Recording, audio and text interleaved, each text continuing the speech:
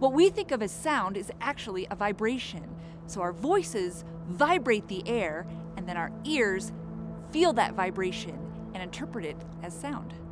On Mars, the atmosphere is a very different composition than it is on Earth, and it's actually a cooler temperature because Mars tends to be a little bit colder.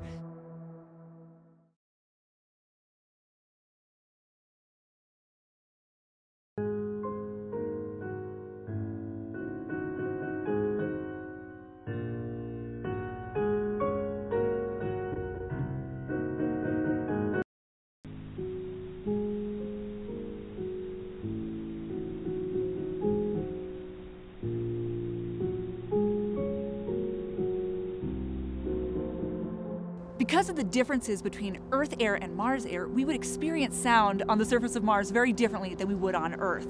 Uh, the first major difference is that the speed of sound is very different on Mars than it is on Earth. It's actually slower. Sounds are going to be really quiet as, as, as compared to what we're used to on Earth, and that's because the Martian atmosphere is less dense. There's just fewer molecules to move, so we have to work harder to move them. So something that would sound very clear and loud to us on Earth would have to be much closer to us on Mars to be something that we could hear. Another big difference between Earth and Mars sound is that pitches would actually sound different.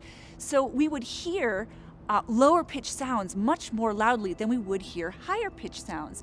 And that would sound really strange to us. And that's just because of the composition of the Martian atmosphere. I've been talking a lot about what we might sound like if we were talking on the surface of Mars, but of course, I hope we would all be wearing helmets because we cannot breathe the atmosphere of Mars. So within our helmets, we would probably have radios and we'd be able to communicate with each other, and the sounds within our helmets should sound just like they do on Earth because we have a little Earth atmosphere around our heads. If you were to lose your helmet on the surface of Mars, you'd probably start screaming because, you know, you wouldn't really be able to breathe very well and you'd want to get help.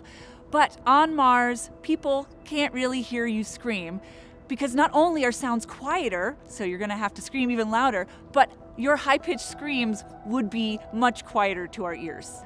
We can learn a lot by listening to sound on Mars. The first thing that we can really learn about is the atmosphere itself because we can listen to how sound propagates through there.